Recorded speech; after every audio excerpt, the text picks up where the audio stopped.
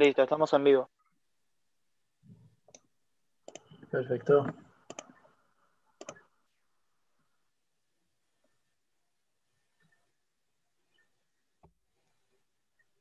Oh, ¿por qué pusiste esta imagen mía nomás, boludo? Ah, no, sacala. Es la de. Cuando compartas el link, pone eliminar eh, vista previa, una cosa así. Una cantidad de escrachos te hace eso. Listo, estamos en vivo.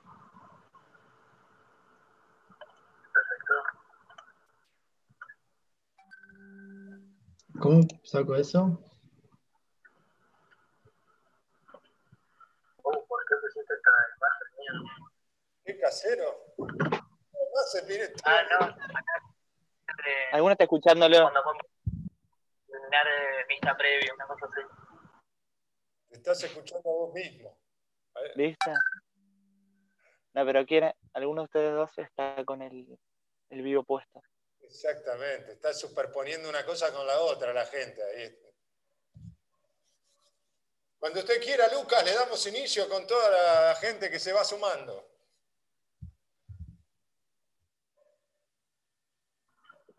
Sí, perfecto. Pasa que ahí silencié porque. Igual esperemos ahí un ratito, unos 5 minutos. Van 37 personas ya entrando y 41. Y Y hay vamos que- invitando. ¿Qué le contás? ¿Le querés contar el backstage de cómo estuvimos armando todo esto durante tanto tiempo? Para los que están ahí, están eh, enterándose de la previa. Claro. Vamos a mandar eso de para que mando el link. De vuelta.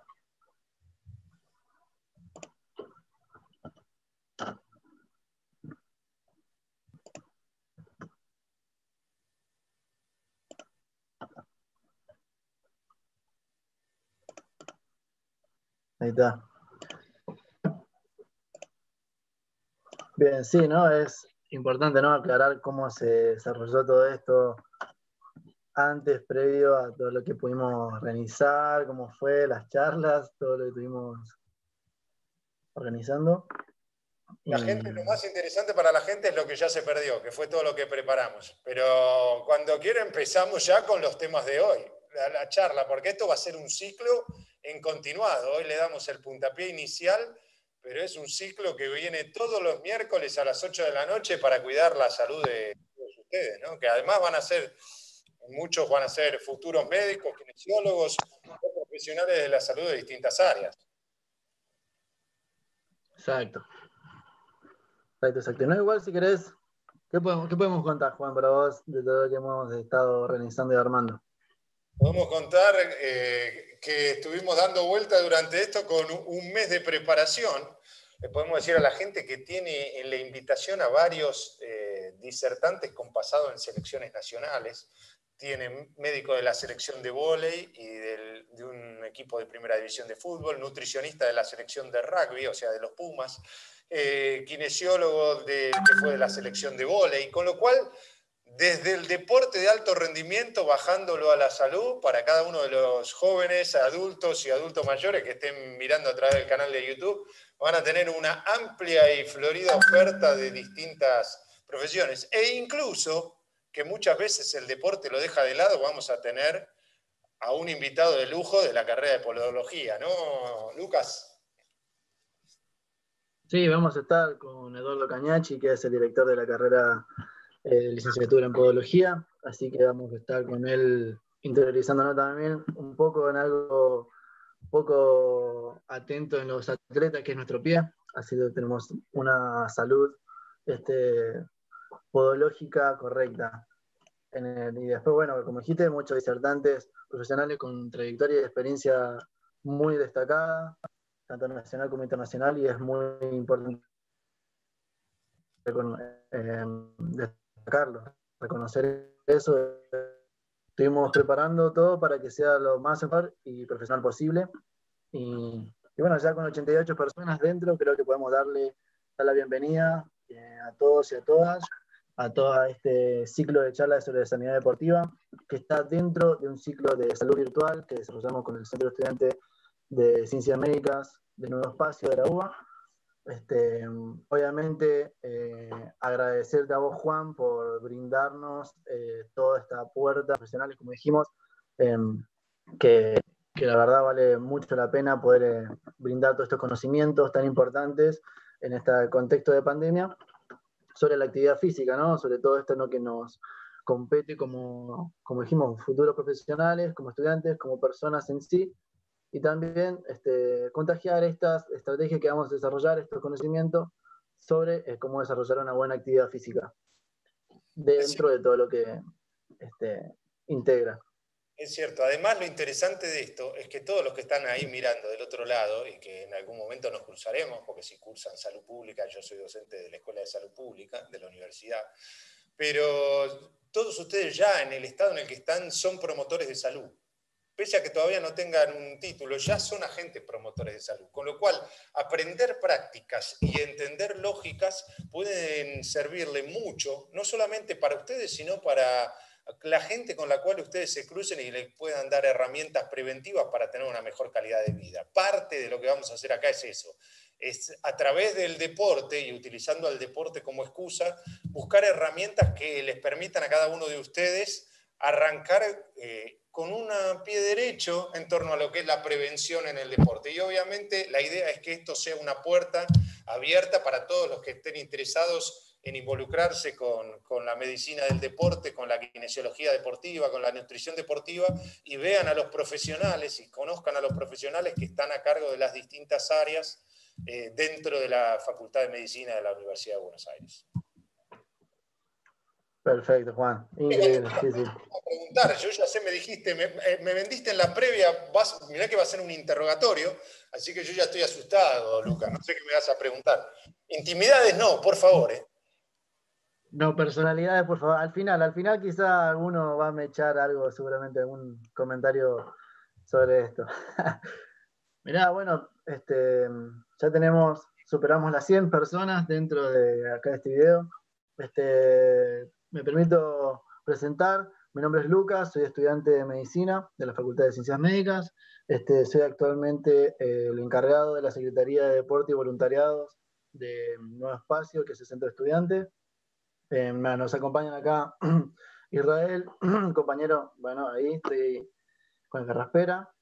Me acompaña un amigo compañero de futsal, Israel, Anita, otra compañera de voluntariado de comida, eh, estuvimos todos en la parte organizativa, falta otro compañero de coordinación, falta otro compañero eh, Lucas, que, es compañero de coordinación de voluntariado, y este, falta también un chico más de Kinesio, que es Federico, que estuvimos ahí eh, dentro del equipo de organización de todo este ciclo de charlas de sanidad deportiva.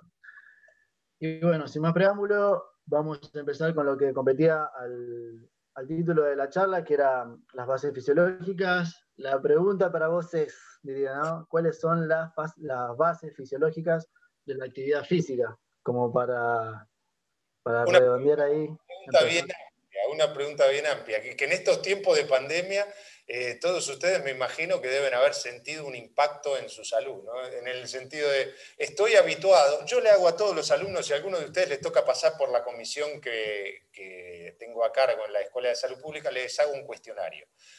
Todos ustedes ya saben ahora, a partir de esta charla, que existe un cuestionario que lo pueden ir googleando si quieren mientras escuchan, que se llama CUPAC, que es un cuestionario de actividad física, cantidad de actividad física que un sujeto realiza.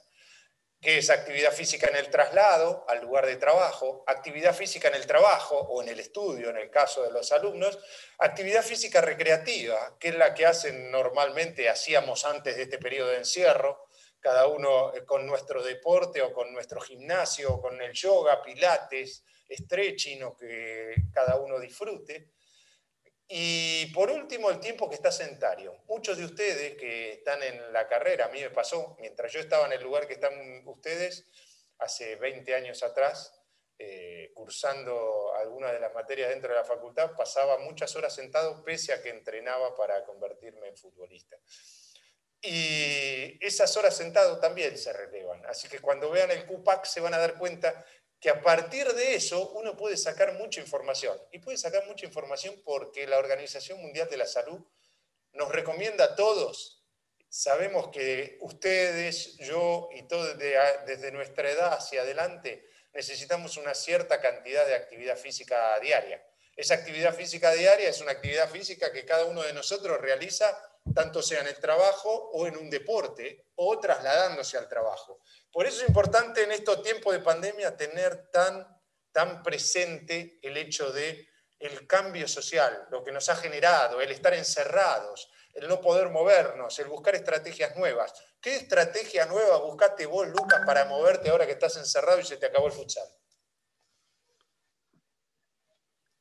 Y eh, fueron complicadas, primero al, principio porque tuve que organizarme bien los horarios, viste, todo desvirtuado, ya no era la misma rutina, ya no era la facultad, eh, trabajo casa, así que iba a ser solamente en casa y de, ahí organizarme con los tiempos de estudio. Y primeramente seguí manteniendo el ejercicio en la mañana. Decime que te compraste una bicicleta decime que estás haciendo actividad física con alguna bicicleta fija o con algo por el estilo mientras estudias. Eso ya sería un golazo. Esa es la difusión absoluta. Eso hay que hacer para difundir actividad física, para prescribir como futuro profesional. Claro, no, ojalá, tuviera la, bicicleta fija, pero no, no, no. Como mucho la bicicleta en abdominales, dice nomás. Pero no, no.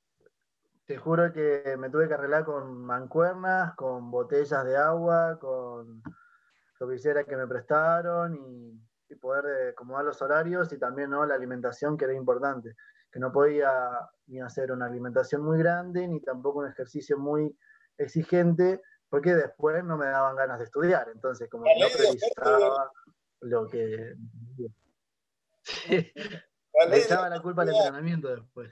Ya estás, ya estás metiendo un bocadillo, ya metimos una herramienta. Una, tratar de hacer eh, estudiar haciendo actividad física mientras estás encerrado. Otra, la ley de la oferta y la demanda. Si ingerís mucho, o sea, si le ofertás muchas calorías al cuerpo y estás demandando menos porque estás encerrado, vas a tener una, una dificultad en la balanza. No en la balanza de pago, sino en la balanza antropométrica. Claro. Hay que seguir ahí como, como complicado con eso. Bien. Este, bueno, algo más ahí que, no sé, ¿te dije todo o no estás convencido de cómo me desarrollé, no? O sea, en la mañana nomás hacía actividad, en la noche me daba mucho, mucha pereza, hacía muy rara vez. A la mañana haces actividad. ¿Cómo? No a la tarde. Se te entrecorta un poquito, creo. A la mañana haces actividad, ¿no? A la tarde. ¿El mejor momento cuál es? A la mañana. Yo lo, encontraba en la mañana, ya que después de hacer ejercicio, quizás un baño y después este, seguir este, con, alimentarme no tan, no tan cargado y de ahí poder estudiar en la tarde y a la noche tratar de dormir temprano, pero bueno, siempre te atrapa Netflix y, bueno. Hay otra ventaja de hacer la actividad física a la mañana. Hay otra ventaja. La otra ventaja es que la actividad física a la mañana te eleva el metabolismo basal. Entonces, al elevarte el metabolismo basal, vos si después te mantenís haciendo algunas cosas que sean caseras, como por ejemplo barrer, eh, o tener que subir y bajar la escalera si vivís en un PH, o limpiar la casa, o hacer algún trabajo que te genere cierta demanda metabólica, eso es lo que se considera NIT, que es Non-Exercise Activity Training. O sea, vos entrenás por un lado a la mañana, aumentás el metabolismo basal, pero después lo mantenés alto haciendo distintos tipos de actividades. Esa es una herramienta muy buena si estás con dificultades de, que en la balanza empezaste a fallar. ¿Viste? Si decís, ahora tengo un par de kilitos más que antes que empezara la pandemia, bueno, una herramienta es empezar a hacer actividad física la mañana, además de comer bien, ¿no? Obvio, de todas las medidas saludables. Empezar a hacer actividad física la mañana y mantenerte haciendo algún tipo de actividad extra. Con eso vas a aumentar la demanda.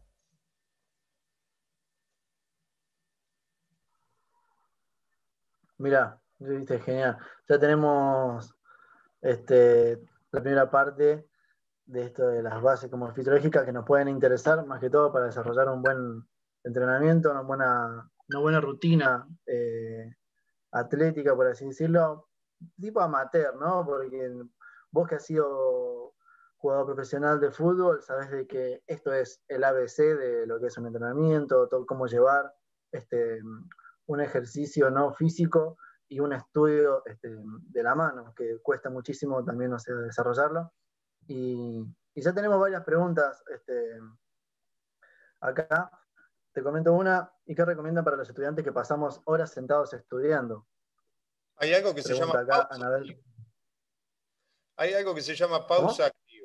Hay algo que se llama pausa activa, que es la posibilidad de que cada 45 minutos, incluso te podés poner, hay alarmas, aplicaciones en el teléfono, que te suenan cada 45 minutos. Entonces vos sabés que estudias 45 minutos de manera intensa.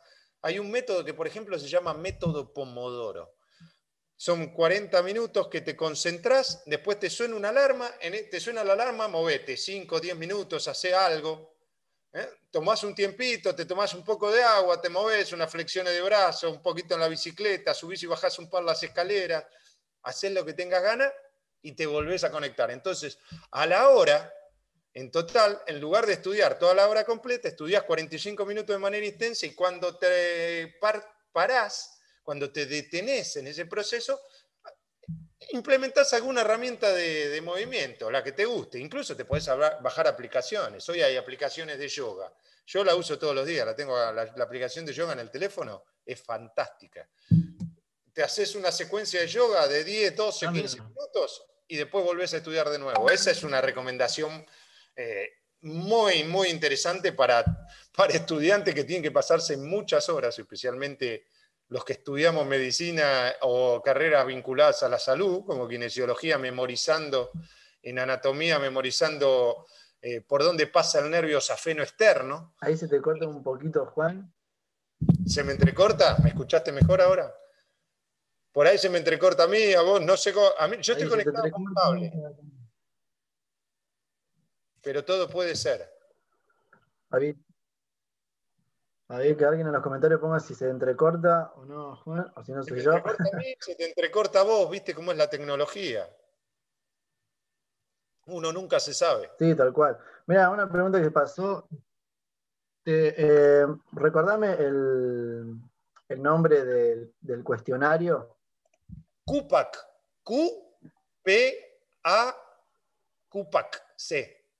Lo van a buscar, Questionary Physical Activity. Es muy sencillo. Eh, la Q es de questionary y la PA es de physical activity. Ahí va. lo van a buscar ahí y van a tener. Es un cuestionario que son 15 preguntas.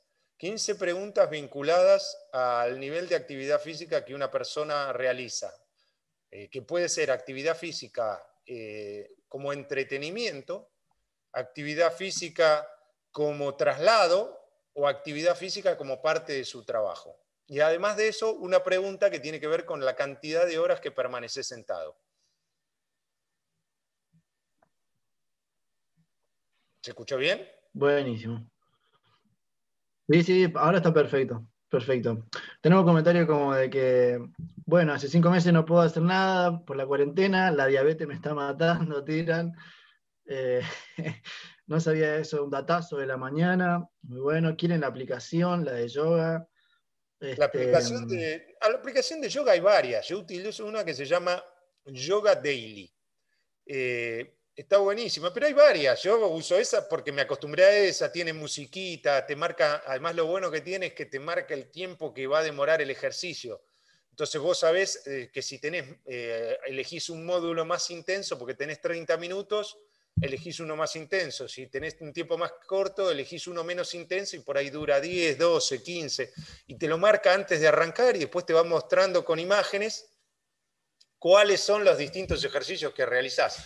Es, muy práctica, pero hay varias. ¿eh? Yo, yo uso esa, pero hay varias. Y son todas gratis. No necesitan pagar nada.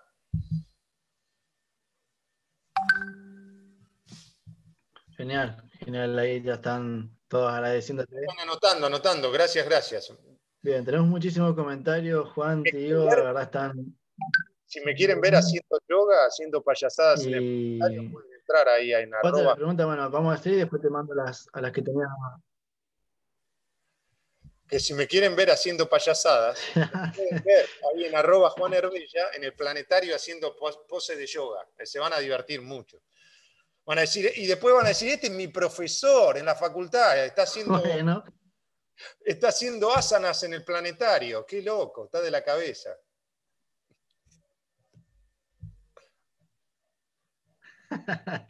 Todas las poses de Juan ahí la tenemos en el, en el Instagram. En el Instagram la tenés, ¿no? en el Instagram, sí, en arroba Juan Herbella. Así como está el nombre, eh, que es todo junto en, Instagram. Lo vas a ver. Eh, y ya lo hacía cuando jugaba al fútbol. La otra vez uno me desafió, así que le subí una foto de cuando jugaba en el Inter de Porto Alegre, haciendo yoga, en una pose de yoga que me sacaban los fotógrafos. Así que me divertí mucho. Uh, te, el paparazzi atrás del arbusto. Buenísimo. Mira, otra pregunta. ¿Todos, todos respondemos a la, igual a la actividad física? No, no cada ¿Todos uno. y todas respondemos igual?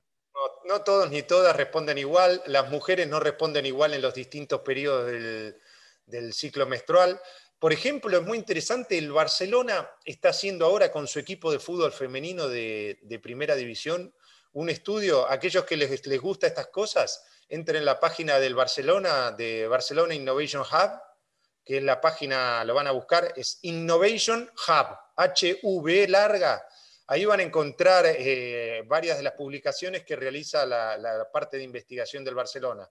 Eh, y uno de los que están haciendo ahora es eh, sobre fútbol femenino. Están midiendo variables fisiológicas y, formas de esa medición, tanto sea con GPS como con saliva, como con muestra de saliva, como con muestra de sangre, para darse cuenta cómo van cambiando los momentos y las respuestas de las mujeres de acuerdo a la etapa del ciclo menstrual.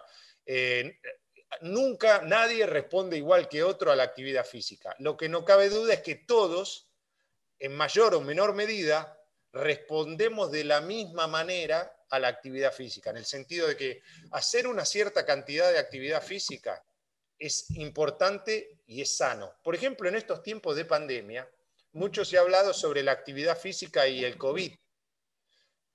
Hacer un poco de actividad física moderada, vigorosa, durante 30 minutos, máximo una hora, sin llegar a una fatiga, eh, muy grande y muy marcada, es, favorecedor para reducir las infecciones del tracto respiratorio superior. Está comprobado eso. Ahora, si el nivel de exigencia deja de ser un nivel de exigencia moderado y se transforma en un nivel muy intenso de exigencia, ahí no, ahí termina generando una depresión en, los mecanismos de defensa inmunitarios y favorece las infecciones respiratorias. Están muy buenos los trabajos, después si quieren me escriben ahí por las redes, yo les mando las publicaciones que les interesen en torno a esto, eh, pero está comprobado que es así. Hay que hacer actividad física, hay que hacer de manera moderada, vigorosa, pero no muy intensa. Me parece que se le cayó la conexión, ¿no? Me parece que se le cayó la, conexión al compañero. Estamos ahí en vivo, seguimos. Se me escondieron Juanma y Israel. Vamos a seguir eh, estirando, ¿no? Juanma, a ver, ¿me prendés? Vos estás ahí, ¿no? Yo sigo, estando, sí, sigo estando. Vos seguís estando, pero no querés mostrar la cara, no querés mostrar la imagen. vos, eh, hay que contarle a la gente que vos sos, eh, viste que siempre hay alguien detrás de cámara esperando que las cosas pasen por si las cosas pasan. Obvio, si sale, ahí está, bra. Ahí está. Si las cosas salen mal, ahí está. Las cosas salen mal, aparezco yo. Bienvenido, Juanma, bienvenido. me parece que la conexión que fallaba no era la mía, ¿no? Era la de él. No, creo que la de Lucas. Igual ahí está. Ahí está. Ahí está volviendo. Se, se escuchan todos. Hola a todos. Se salió, se me. Ahí, ya se descontroló todo, Lucas, la conexión que pasó. los pibes se bueno, vuele Lucas. La culpa a mí. No puede ser. La fiscalía descansa. Ahora estamos todos en vivo, ahora estamos todos en la pantalla de, de, Ceci. Genial, bueno, era para darle también un lugar a ellos, ¿viste? Que puedan, para que saquen la cámara, ¿viste? Fue toda una jugada. Fue toda una jugada. Muy Muy bien. ¿Hasta dónde llegaste? ¿Llegaste hasta la idea completa en la cual decía que la inmunidad eh, se favorece con un trabajo moderado vigoroso y que no se favorece si uno hace un trabajo demasiado intenso, muy exigente y muy agotador durante mucho tiempo. Cualquier duda, consulta sobre estas cosas, me escriben ahí, yo les mando las publicaciones eh, al respecto, pero hay bastante escrito sobre el tema. No, perfecto, está muy, está muy bien explicado la verdad que hacía falta esta, estas aclaraciones, ¿no? Porque uno piensa de que, bueno, uno tiene que hacer actividad física y se sobre eh, exige justamente, para la redundancia, de estos entrenamientos que pueden ser para todos, pero no muchos se van a, y muchas se van a adecuar, obviamente, al, al entrenamiento. Todos como estaba de moda el CrossFit, como estaba de moda calistenia, como estaba de moda lo funcional, lo cardio, entonces como que hay que buscar también un poco de las, unas estrategias propias ¿no? de, de cómo llevar a cabo el entrenamiento de cada uno. Justamente, eh, como dijiste, el sistema inmunológico, la próxima pregunta era este, ¿cómo iba, cómo, cuál era la relación entre el deporte y, nuestro sistema inmunológico. Acabo de explicártelo, acabo de hacer toda la extrapolación. No me reiteres la pregunta porque vos te colgaste y te fuiste del aire. Yo ya la expliqué que la gente Pero escriba. pregunta con delay. No, vote, vote, vote. ¿Viste cómo hacen los Vote ya, ya, ya. ¿Sí o no? ¿Explica de nuevo? Explica. Perfecto, ¿no? Eh, bueno, puede, puede fallar, dijo tu Sam, ¿no? Y bueno. pero, pero perfecto, ¿no? Ahora, eh, para, vos, así personalmente, ¿qué requisitos son los que tenemos que tener en cuenta al llevar a cabo una actividad física? Muy buena pregunta.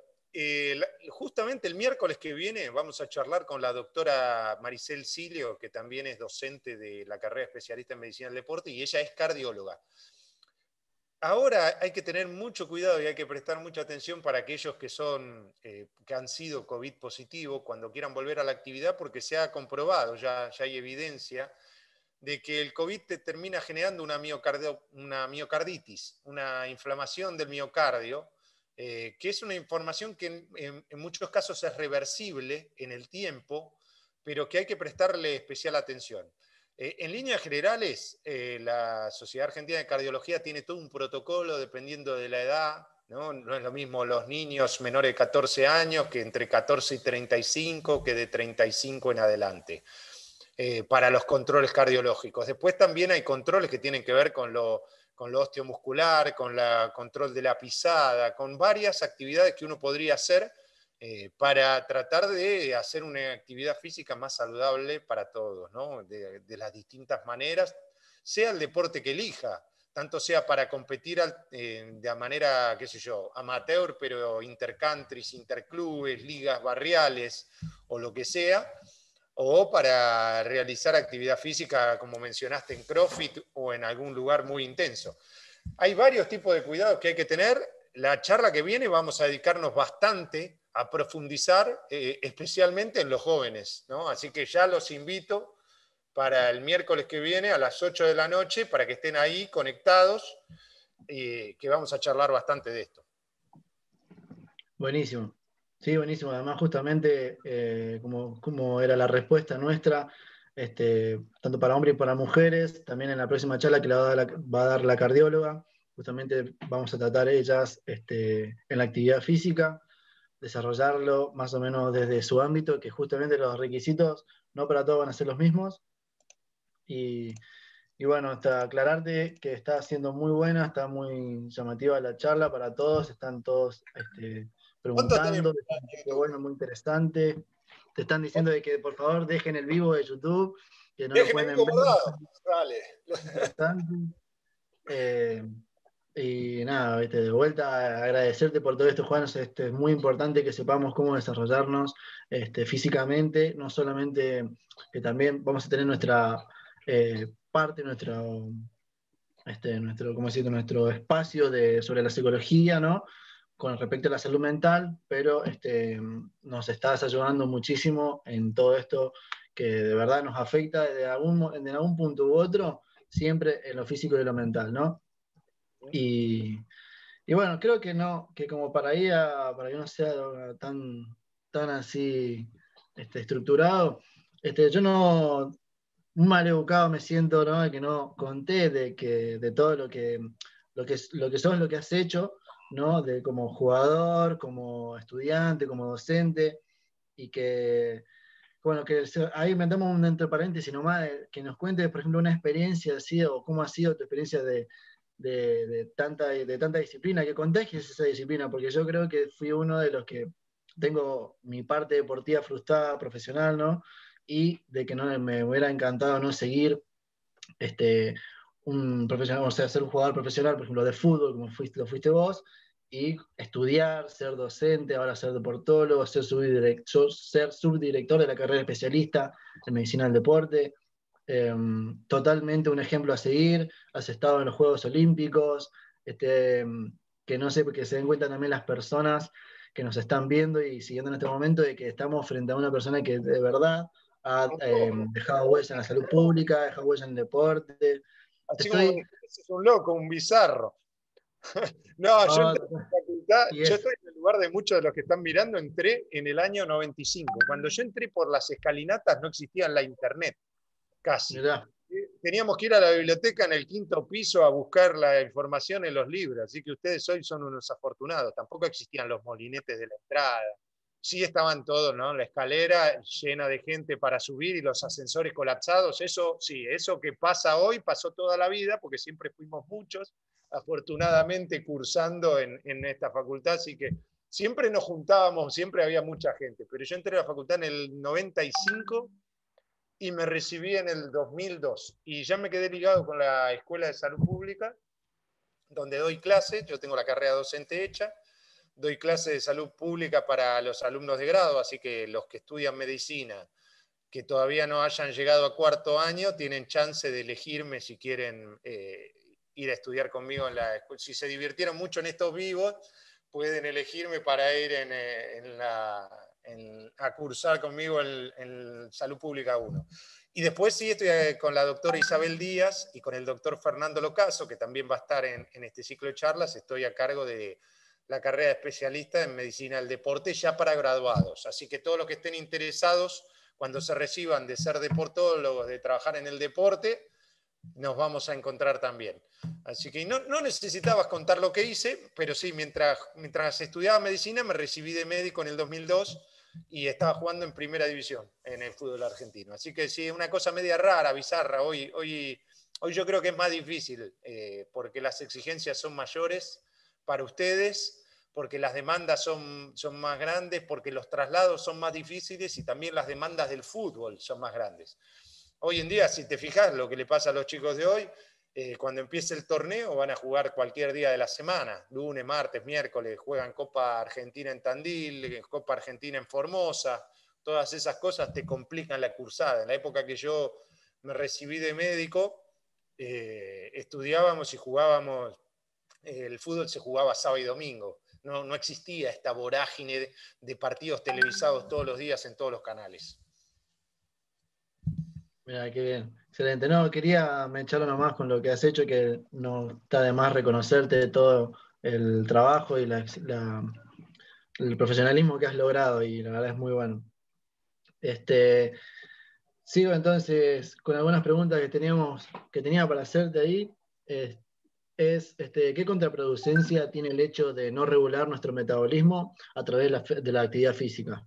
Una persona que no está acostumbrada a hacerlo, pero de cómo, cómo le incentivarías a que realice y que cómo contarías, cómo le contarías de qué manera afecta en su metabolismo el no realizar actividad física.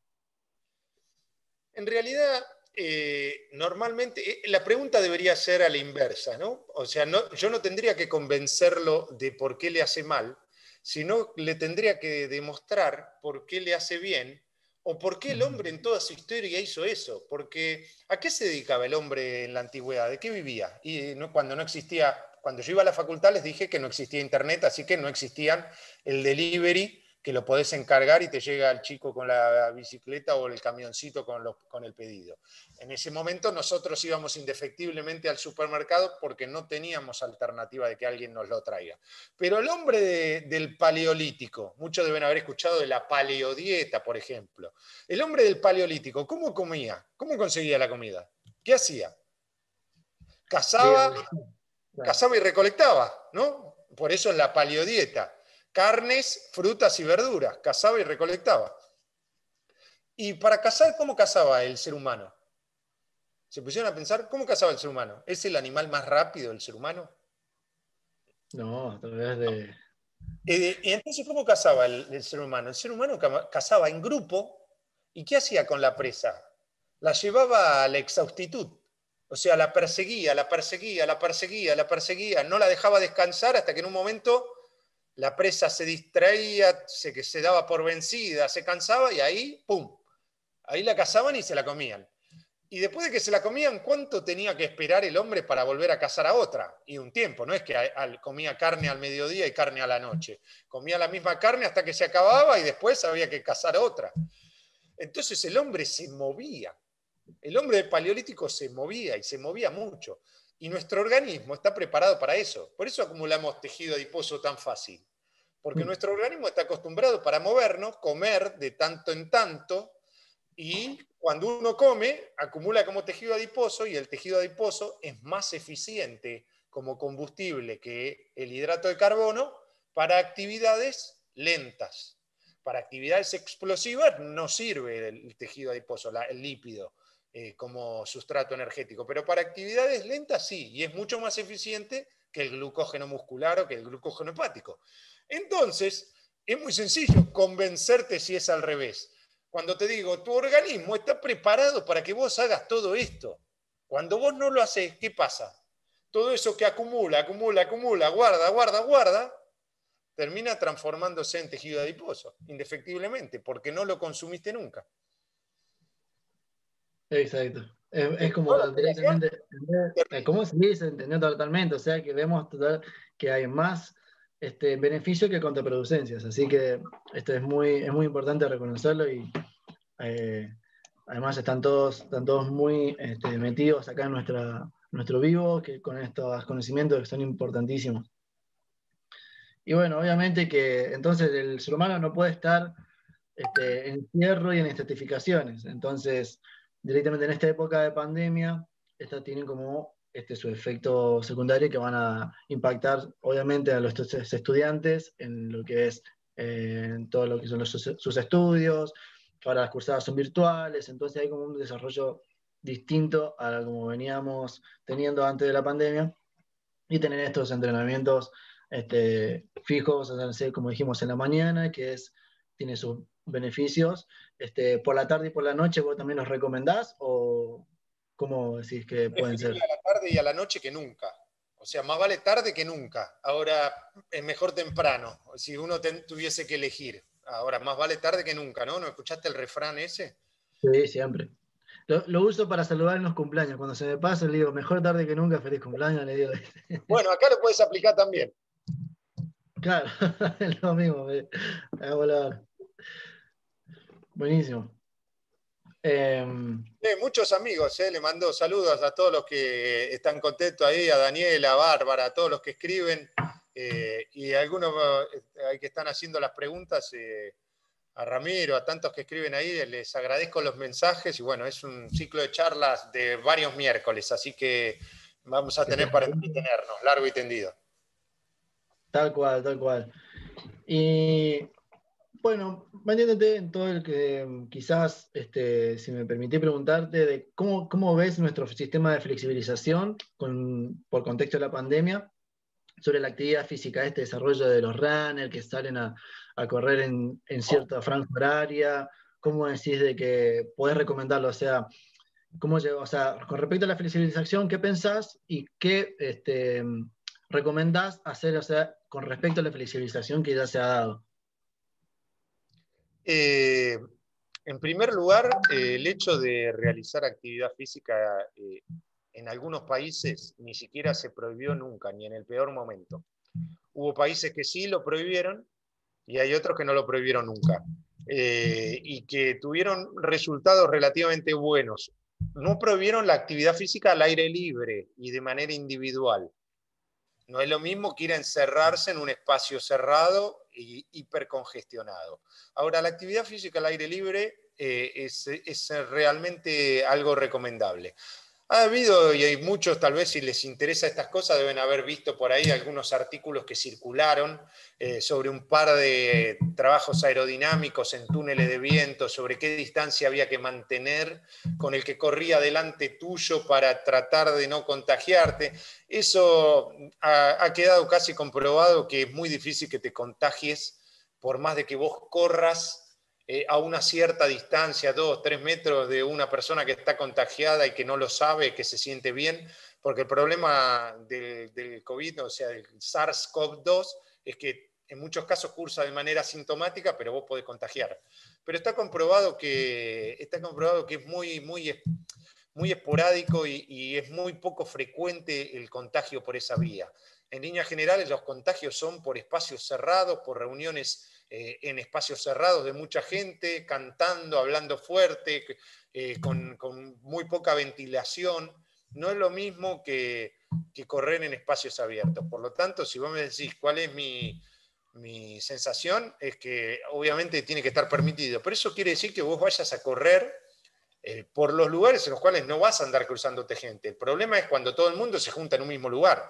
Es cierto, a todos nos gusta correr en algunos lados, pero bueno, en este contexto y en este momento eh, es importante tratar de correr en un espacio en el cual no te cruce con mucha gente por una cuestión de precaución y por una cuestión de tranquilidad. Correr con barbijo, en líneas generales, eh, hay, estudios que demuestran que el oxígeno sigue entrando en la misma medida. Hay otros que demuestran que se acumula más eh, dióxido por el hecho de la eliminación, que no, no termina siendo una eliminación abierta. Eh, la verdad que eh, yo corro sin barbijo. Yo soy de hacer actividad física, corro sin barbijo, entreno en lugares donde no me cruzo con nadie y vivo tranquilo, en el sentido de cruzo, corro por las calles en las cuales sé que no va a correr la gente, son calles en las cuales me pasan los autos por al lado, pero corro tranquilo y sin barbijo. En ese sentido, mi opinión conceptualmente es esa, y progresivamente tienen que ir volviendo los deportes, tenemos que ir recuperando una cierta normalidad pero además en esa cierta normalidad que se recupere, la gente tiene que ir educándose sobre cuáles son las medidas de prevención.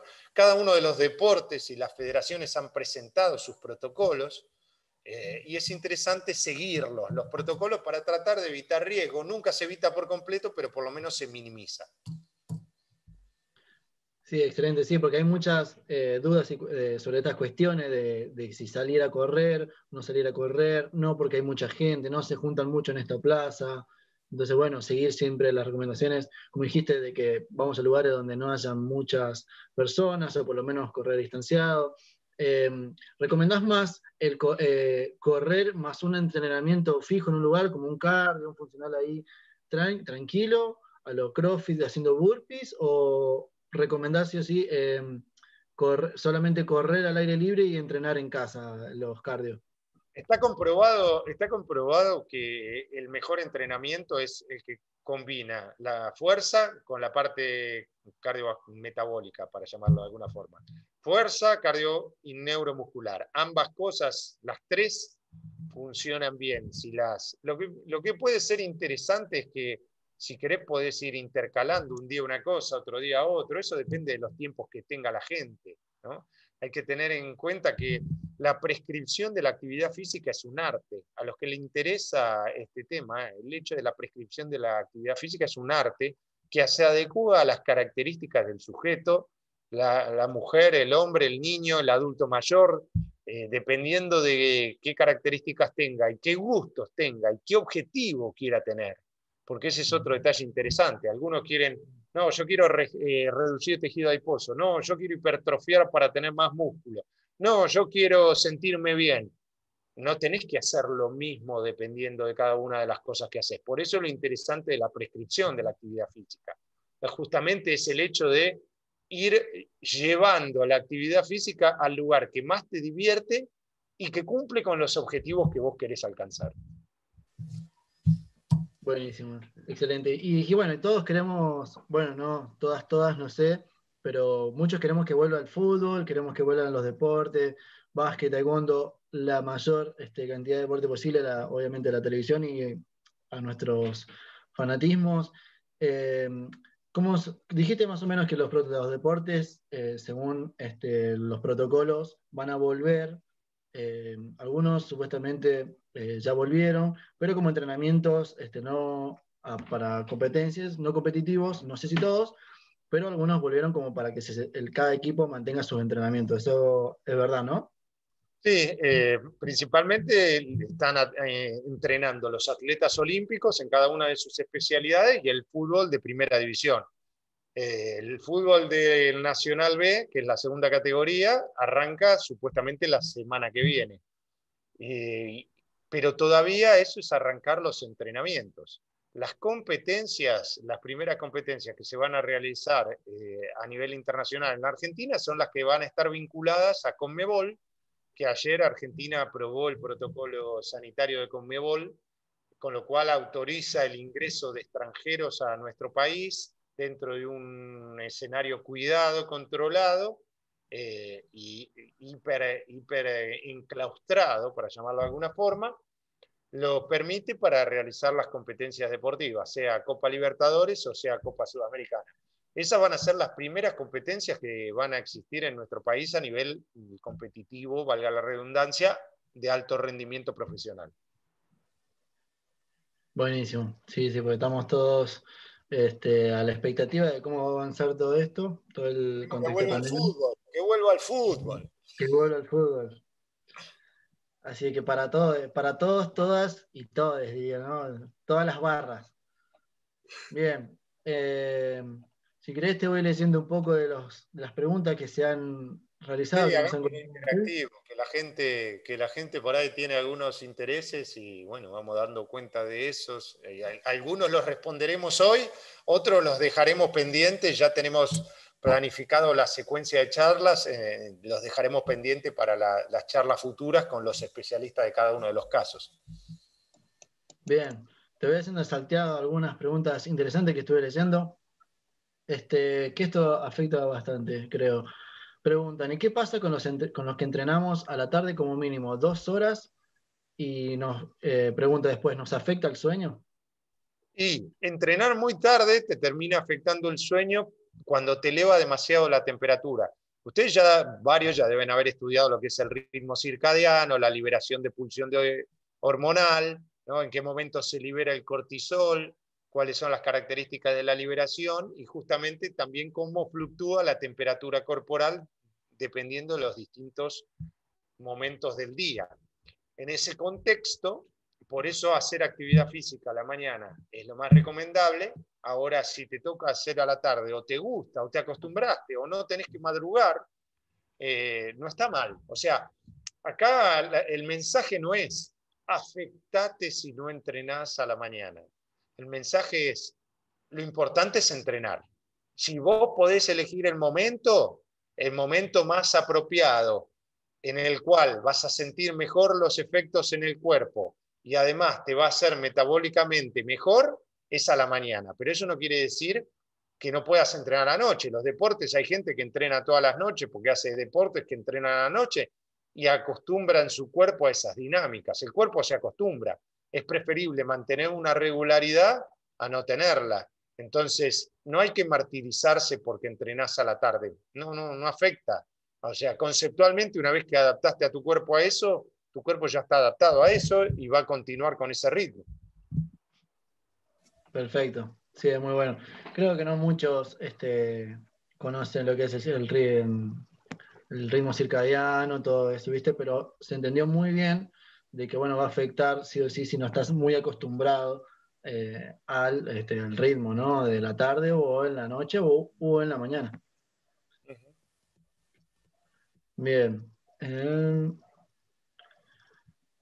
preguntan acá, bueno, eso fue para Sabrina. Acá Gastón pregunta, ¿por qué cree que el foco de la medicina actual le da más importancia a curar en vez de prevenir? Y si la base de estar saludable está relacionada al movimiento, la nutrición y al descanso. No creo que toda la medicina esté enfocado para ese lado. Hay, hay obviamente especialidades más preventivistas y otras más intervencionistas. Lo que no cabe duda es que las especialidades más intervencionistas en líneas generales son las más rentadas también, por, la implementación de procedimientos quirúrgicos o por la implementación de procedimientos especiales tecnológicos.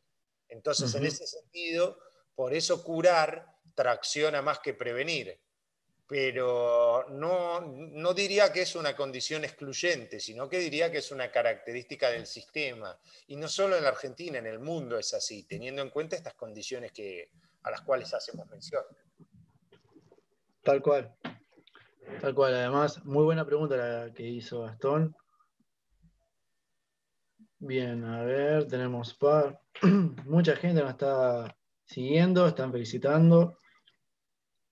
Repitieron muchas veces que se escucha muy bien. Bueno, me alegro que se escuche muy bien. Siempre es bueno que la conexión sea.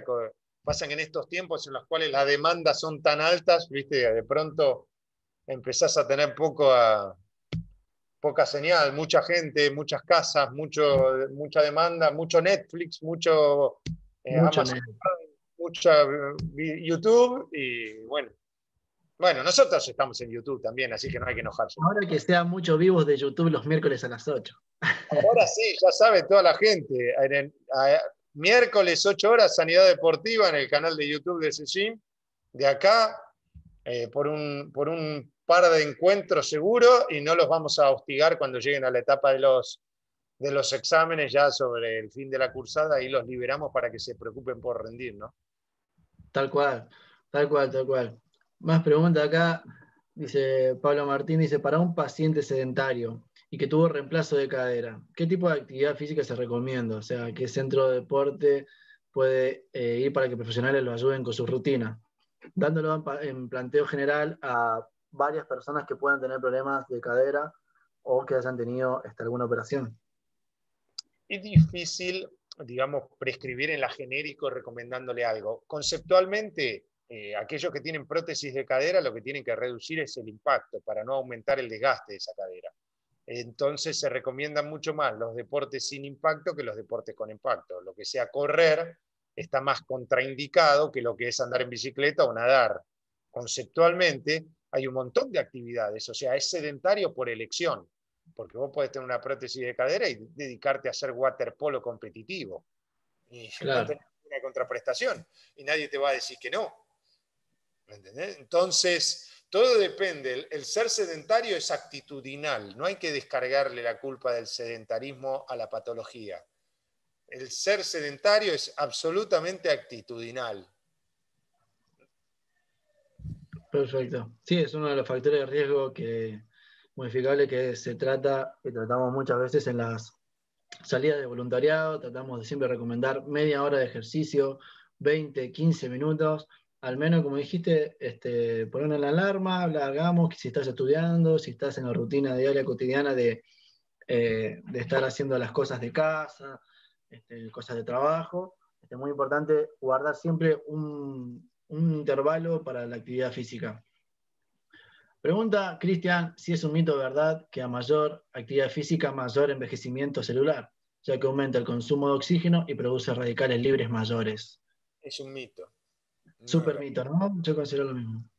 Sí, sí, porque también el ejercicio tiene efecto beneficioso en cuanto a todo lo que tiene que ver con la vascularización. No es así que, que depende además qué tipo de ejercicio realices. No es lo mismo un, ejercicio de un tinte aeróbico que un ejercicio eh, con una característica anaeróbica. Eh, la generalización es un mito. Después hay que desmenuzar caso por caso que hay distintas aristas, ¿no? No es lo mismo hacer CrossFit que hacer Pilates. No, no es lo mismo. Los dos tienen una connotación, cada uno tiene sus características, pero no es lo mismo. Ahora, cualquier actividad física eh, que no genere dolor, que no genere eh, patología, es preferible al sedentarismo. Perfecto. Muy sí, sí, tal cual. Hay muchos mitos, ¿viste vos? Creo que a lo largo de... Le mandamos un saludo hablando de mitos. No puedo dejar de mandarle un saludo al gran Máximo Soto, ah, autor del libro Mitos en Salud, eh, así que no podemos decir mitos en cuanto a la salud y no mencionarlo a, mi gran amigo Max. Sí, tal cual, que su libro es muy, muy interesante, la verdad que mata muchísimos mitos, ¿no? Que, que es como decíamos, ¿no? La, es una desinformación y que hay que siempre eh, incentivar a todos a que podamos incorporar cada vez más este, todos estos conocimientos que están siendo súper valorables, ¿no? Es increíble. bueno, Máximo. Igual todavía queda más, ¿eh? no se agota acá, lo seguimos vendiendo para los miércoles próximos. Claro. Así que a algunos estaríamos invitándolo. Bueno, y aparte de eso, ¿qué pensás del entrenamiento de CrossFit, ¿no? de, todo esto? Bueno, algunos este, practican calistenia, este, se me ocurre ahora otro, o sea, pilates para las chicas. Este... O sea, cada, cada actividad tiene sus características. Lo importante, el problema del CrossFit, que a veces te llega mucha gente para atender que se lastimó haciendo CrossFit, jóvenes obviamente, el problema del, CrossFit es la mala ejecución de la técnica y la intención de competir. Eh, esta lógica del varón de Pierre de Coubertin, el creador de los Juegos Olímpicos, de correr cada vez más rápido, saltar más alto y, ser más fuerte, es una lógica que empuja los límites y que puede llevar a lesiones si es dentro del deporte de alto rendimiento competitivo, el deportista sabe que está expuesto a eso. Ahora, de pronto está pasando últimamente que muchos que no hicieron deporte competitivo de chicos y que de pronto de grandes eh, tienen ganas ya de adolescentes de marcarse y empiezan a hacer CrossFit eh, de manera, digamos, muy intensa, no respetan ciertas cualidades, porque hay leyes de la adecuación de la actividad física. Y siempre es preferible, por ejemplo, aumentar la frecuencia que aumentar la intensidad de un trabajo. Entonces, si vos vas a hacer CrossFit dos veces por semana y querés eh, mejorar o querés marcarte más, es más recomendable ir tres veces por semana y mantener la misma rutina que agregarle a, esa, a esas dos rutinas que ya vas un, un tiempo más. Por ejemplo, vos vas dos veces por semana, una hora y decís, bueno, quiero aumentar. Es preferible aumentar tres veces por semana, una hora, que dos veces por semana, una hora y media. Exacto. Porque conceptualmente es menos dañino para el cuerpo el hecho de aumentar la frecuencia que aumentar la intensidad. Aumentar la intensidad es más agresivo. Si a eso le sumas que no ejecutás bien la técnica, es un doble problema. Y si a eso le agregás que al lado tenés a otro que levanta más que vos y en tu cabeza vos querés igualarlo, tenés otro problema más. Entonces, por eso la gente tiene un preconcepto con el CrossFit que no debería ser así. El CrossFit no es malo. Lo que es malo es hacer malo CrossFit. O sea, hacer mal CrossFit es más peligroso que hacer mal Pilates ejecutar mal un movimiento de CrossFit, una cargada, un segundo tiempo, es peor que ejecutar mal eh, lo que haces en el carrito de pilates, porque tenés más chance de lastimarte con, la pesa, con el peso muerto volando en el aire que con el carrito que tiene una soga que lo sujeta.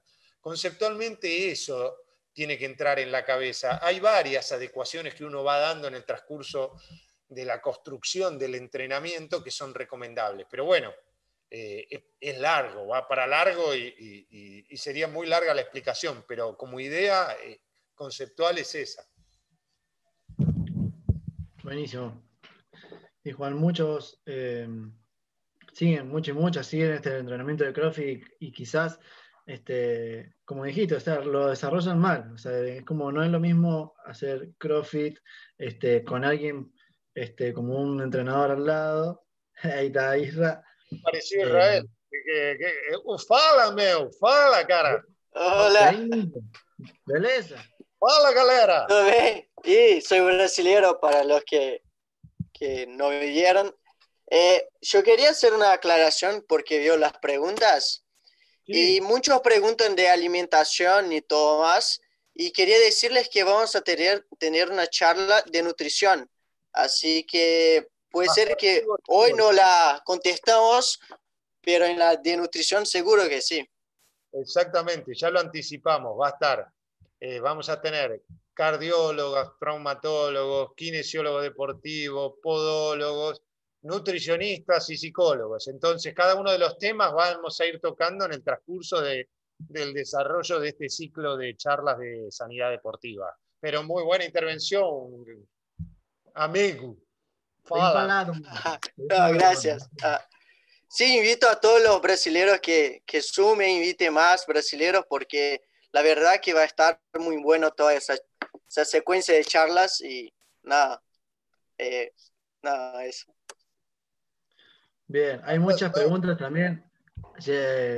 complementando la aclaración de Isra de tanto la alimentación, preguntan mucho por menisco roto, por recuperaciones, por han sido COVID positivos y les recomiendan volver a la actividad, que eso si querés lo podemos Charlamos el miércoles que viene, como les dije, con la cardióloga, porque especialmente un detalle muy interesante. Es cierto que no está, o sea, no es que es excluyente el, daño miocárdico no es que la única secuela que genera el COVID positivo, en algunos casos, no en todos, hay, como dijimos antes, hay gente que lo cursa absolutamente asintomático.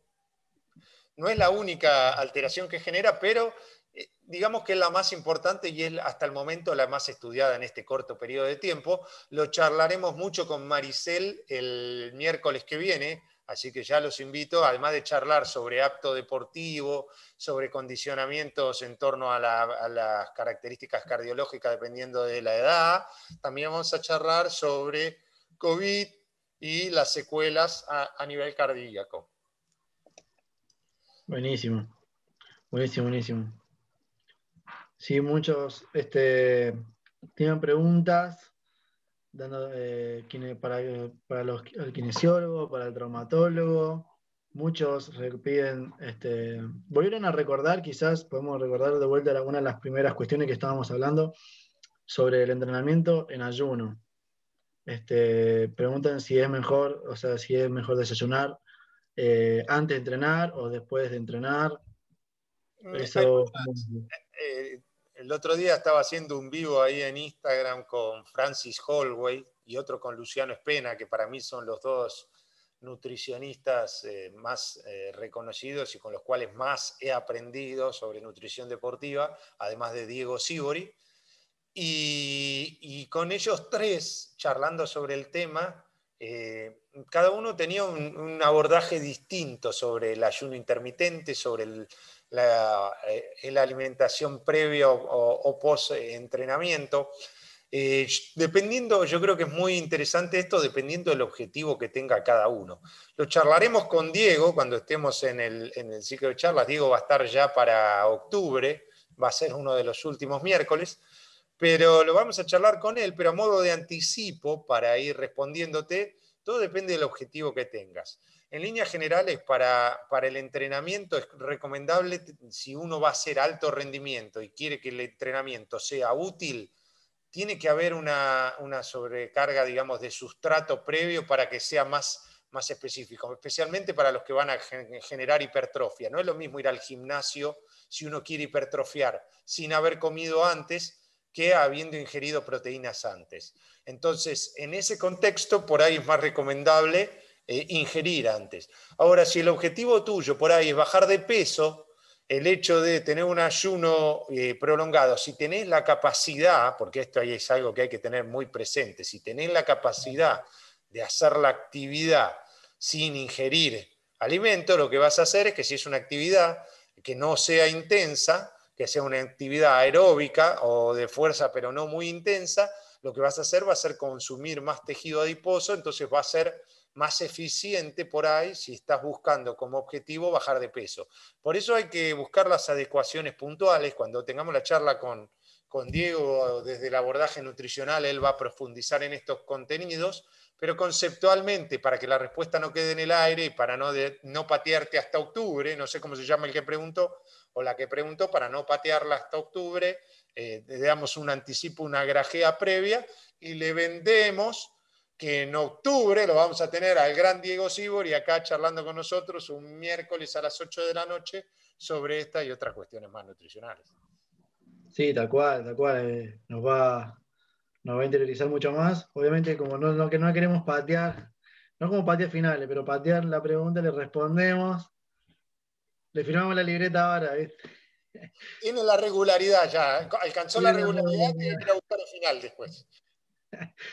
Sí, muchos hacen preguntas también como eh, que lo vamos a después contestar como menisco roto, hernias, tratamiento, lo que sea, en la charla respectiva al traumatólogo en el área deportiva y a kinesiología deportiva, que son las próximas charlas que van a venir, cardio también, así que les decimos de que muchas de esas preguntas van a ser contestadas en las próximas este, charlas. Ahí Sabrina me pregunta, Sabrina pregunta eh, dónde es que tiene, que me puede, que puede ver estas cosas, que me puede escribir es así como ves en el nombre, arroba Juan Herbella, eh, en, Instagram o en Twitter, arroba Juan Herbella, y ahí, ahí me escribís y les mando la información de, lo que quieran sobre lo que hemos charlado ahora en, esta charla. Pero es arroba Juan Herbella todo junto en Twitter, en Instagram o en, o en las distintas redes. Exacto. Una pregunta acá que está buena, Gastón Peirú Dice, según Vadillo y otros autores, el entrenamiento de resistencia genera adaptaciones antagónicas respecto al entrenamiento de la fuerza. Dice, para la salud, ¿cómo mezclaría ambos? Lo que pasa es que ahí están tomando, eh, están tomando, están mezclando cosas, se está tomando alto rendimiento. Eso es así, es cierto. Si vos vas a ser velocista y si tu entrenamiento es eh, de velocidad, si sos un corredor de 100 metros, no tiene sentido que te pongas a correr 3 kilómetros a paso lento, porque eso no te sirve como entrenamiento. O sea, la, especificidad del deporte hace que si vos vas a hacer un deporte explosivo, trates de desarrollar la mayor cantidad de fibras rápidas dentro de tu masa muscular. ¿Y cómo se desarrollan las fibras rápidas? Haciendo ejercicios rápidos haciendo pliometría, haciendo trabajos de, fortalecimiento que sean explosivos, no haciendo actividades de permanencia, no corriendo durante largos tiempos y muchos minutos juntos. Entonces, eso es así cuando uno habla del entrenamiento de alto rendimiento. O sea, no se prepara igual un velocista que un maratonista. El maratonista tiene que correr mucho, mucho, mucho, mucho, mucho, y el velocista no tiene que correr nada, tiene que ser explosivo, tiene que correr muy poco tiempo.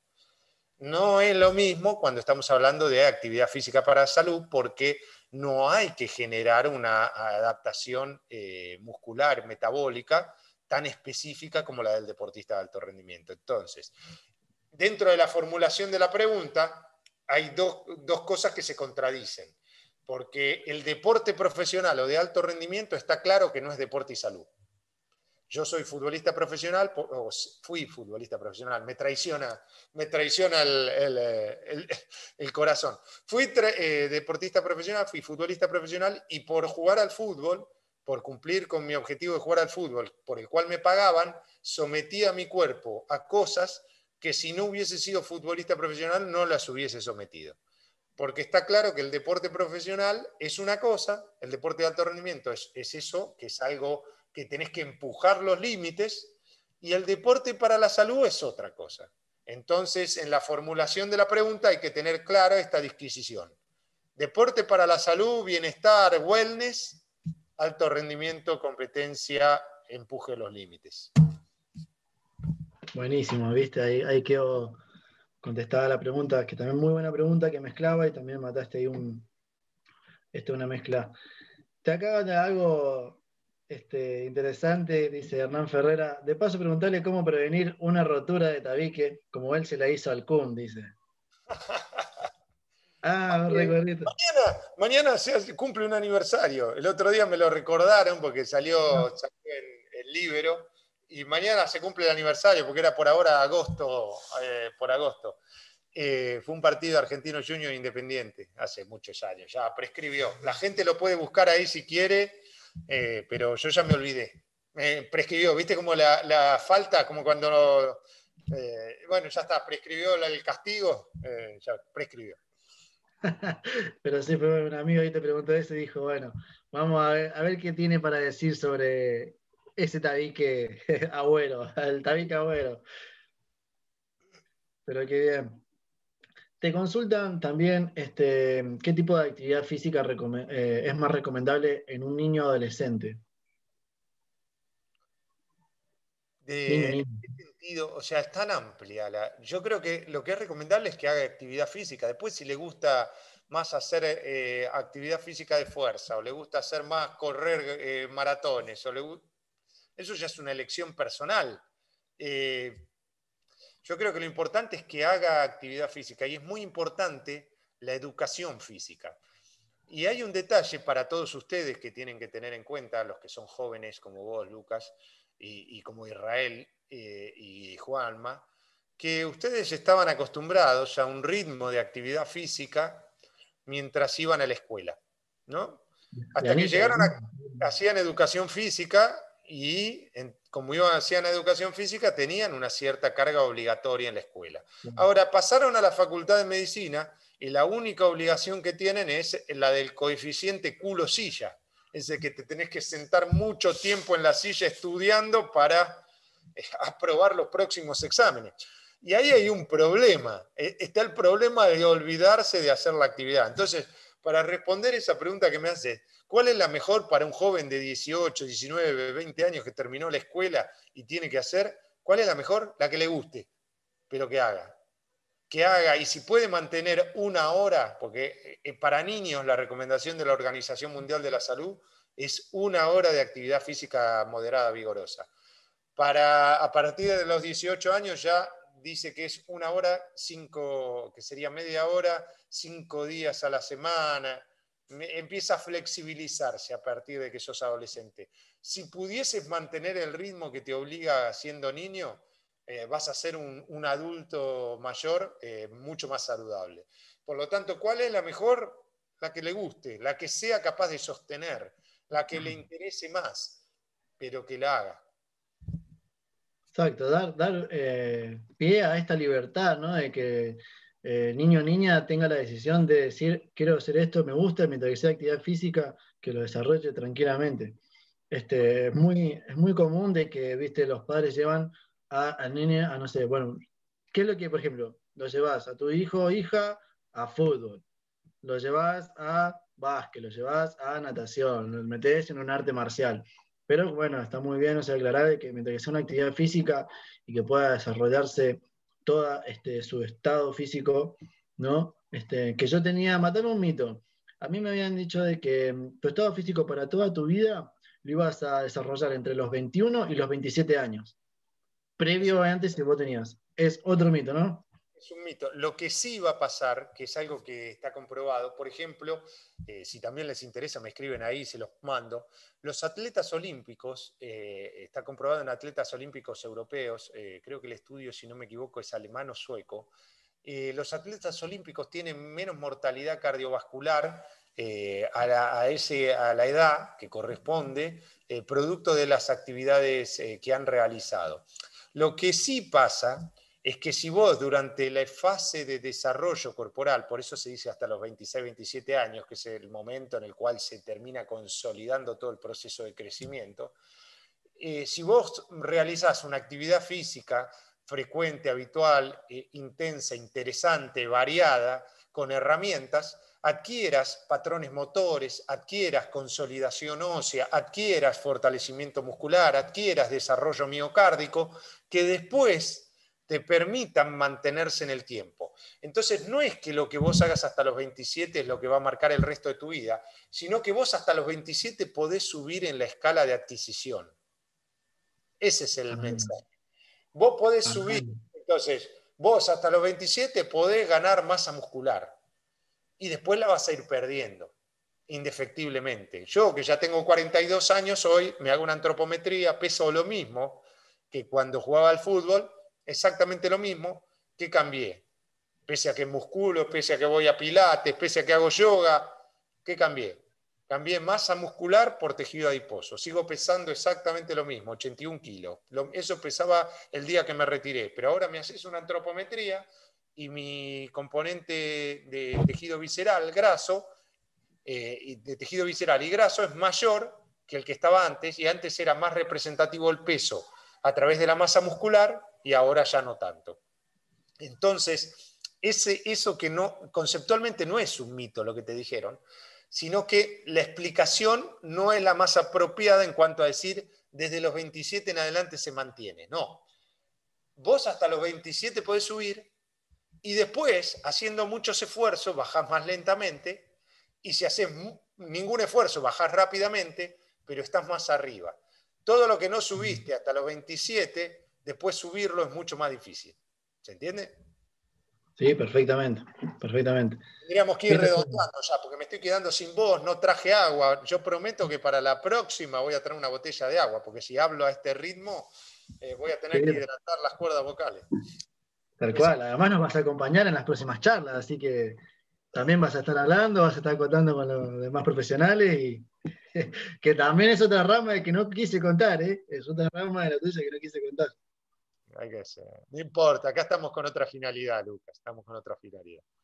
Mira, y te manda saludos este, Eduardo Cañachi, dice, soy Eduardo Cañachi y estoy con la compu de mi señora, me encanta la charla de Juan, dice.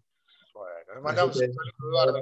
Usamos un mensaje hoy eh, para ver por dónde salía y le conté, así que ahí tendremos a la gente de Podología en alguna de estas charlas también. Creo que, si no me falla, va a ser la anteúltima semana de septiembre. El miércoles de la anteúltima semana de septiembre. Buenísimo. Y bueno, ahí más o menos, si querés, vamos cerrando con una o dos. Te pregunté el, tipo de actividad física este, para, este, o sea, para, para los niños adolescentes. Déjame buscar que había una pregunta también para acá está. ¿Qué pautas básicas, pregunta Ezequiel, qué pautas básicas hay que tener en cuenta para un adulto sedentario y que empiece a hacer eh, ejercicio en este tiempo?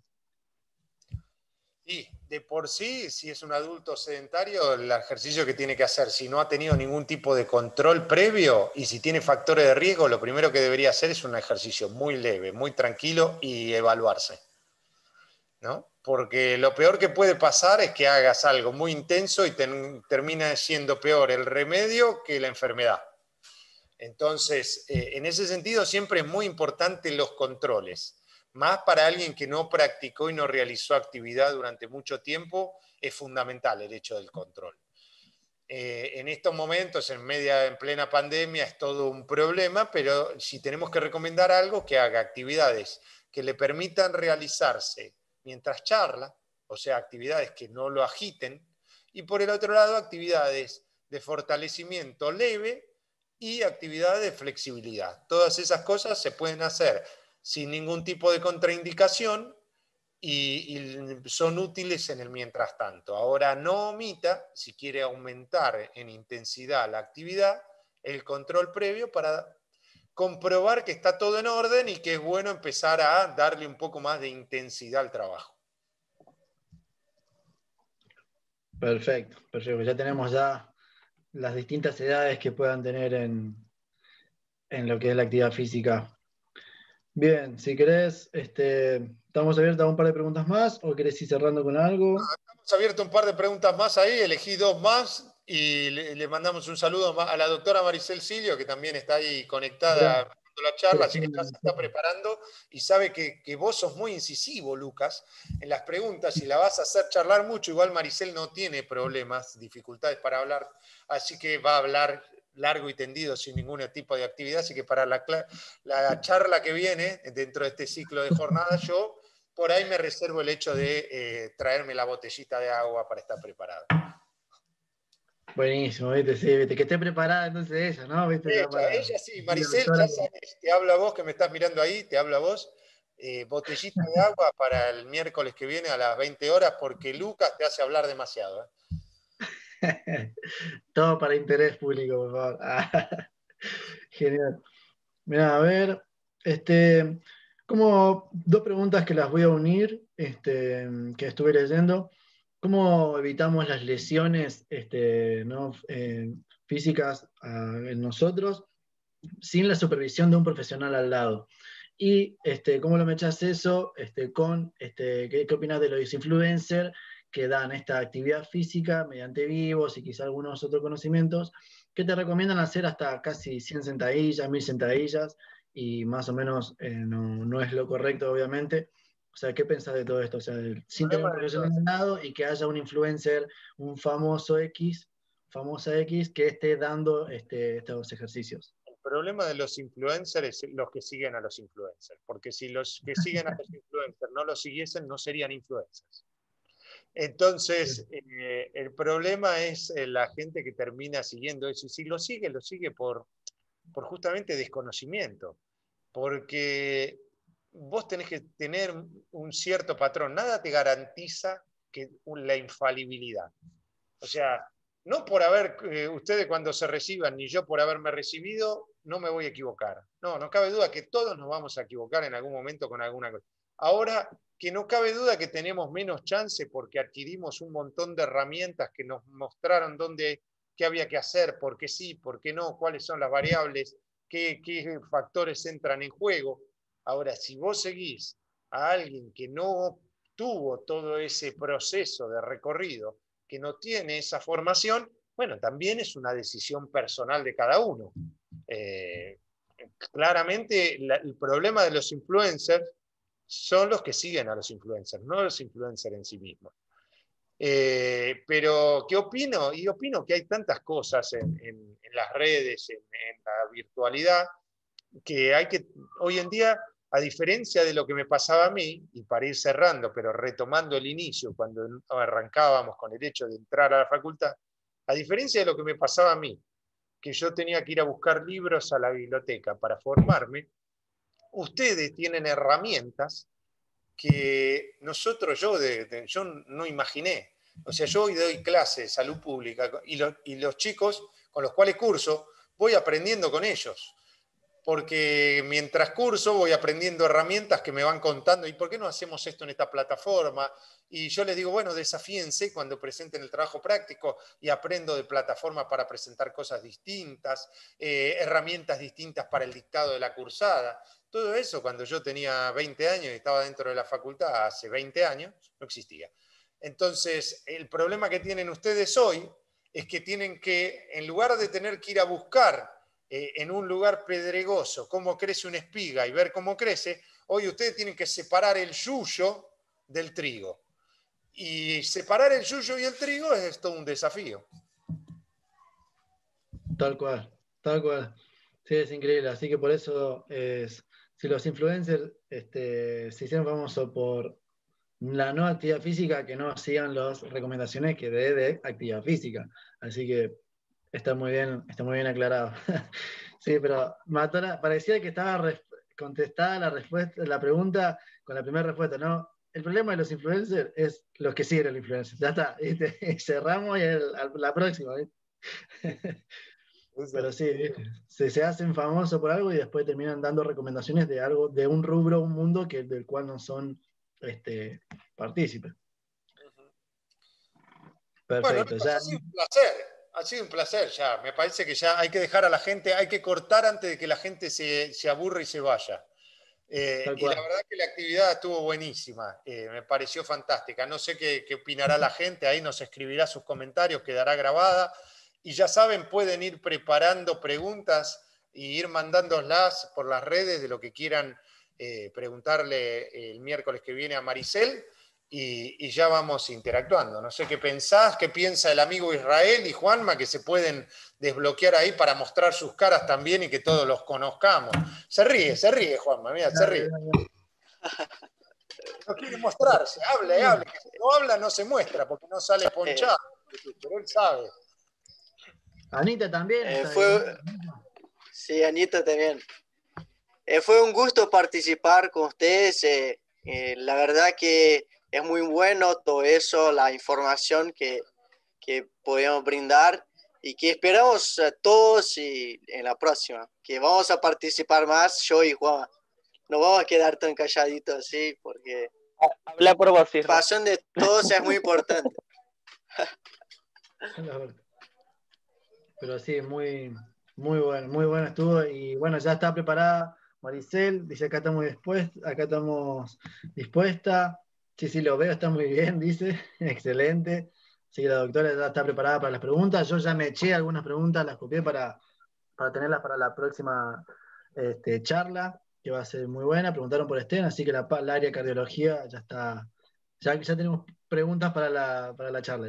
Ya tenemos preparado, mirá qué bien que ya tenemos preparado la charla el miércoles que viene. Es un golazo esto. La verdad que la gestión de ustedes es impresionante.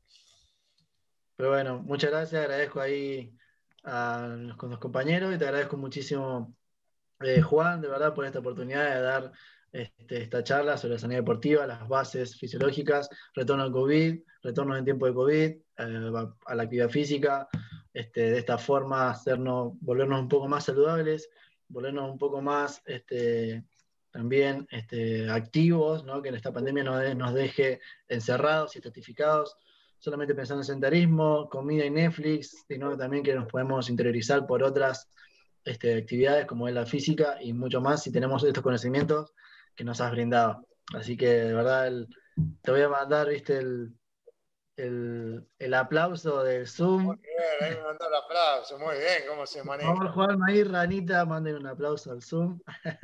Bueno, ha sido un placer, chicos.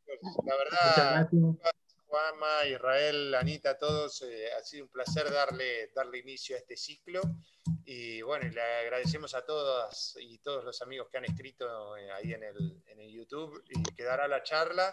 Y ya saben, pueden irnos escribiendo. Ahí está Anita. Hola Anita, que no hablaste ni saludaste. Eh, va a quedar todo esto prendido ahí para, que lo vean. Perfecto. Y ahí te saluda Máximo. Máximo Soto te dijo gracias Juan por tanta sabiduría, por tanto saber y gracias Cecim. Obviamente, muy bueno. Un amigo de la casa, diríamos, ¿no? Sí, sí. Y amigo Ha sido un placer. Los dejo a ustedes para la despedida final. Nos Perfecto. vemos. Nos despedimos todos juntos. Es muy bueno. Así que muy bueno, hasta luego, que andes bien, Juan, nos vemos el próximo miércoles. Estamos en contacto, pero nos vemos el próximo miércoles. Saludos para todos. Abrazo grande. Ha sido un placer. Nos vemos.